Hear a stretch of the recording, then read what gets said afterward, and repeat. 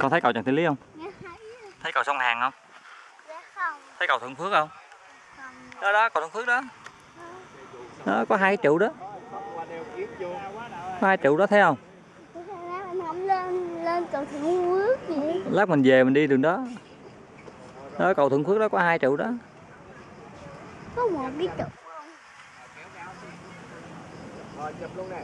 Em ơi tránh tránh anh bấm cái cái chân lại. Một, hai, ba. Rồi.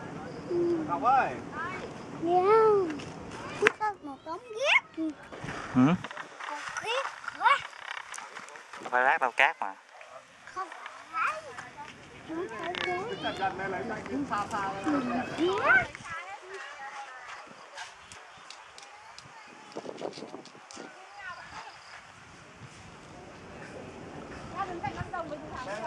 Lâu lâu mà.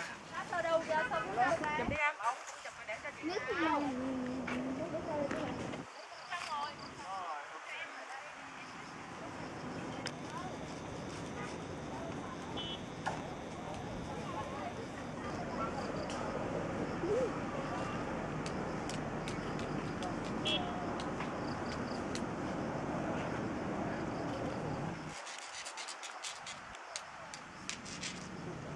biết mà này mà gì không?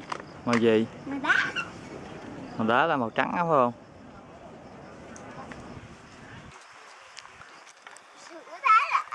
Đâu đâu mà mà nào đâu đâu chỉ ba coi. Đâu?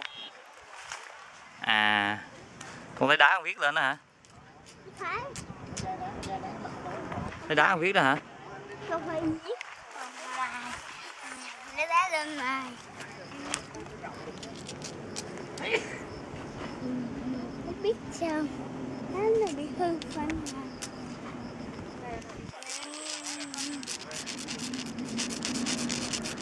con mài hồi mòn đá hết. Mòn không? Cái viên cái viên đá đó giống viên phấn không? Dạ, giống. Giống hả? Viên phấn bằng đá đúng không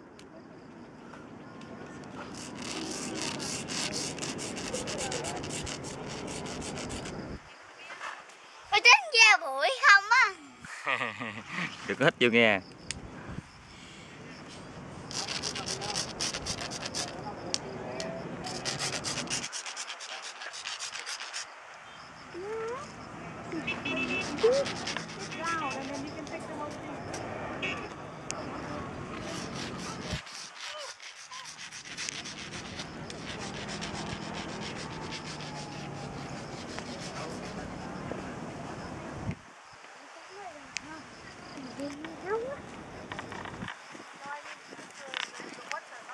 Mất cái này nó quất rồi kiến không?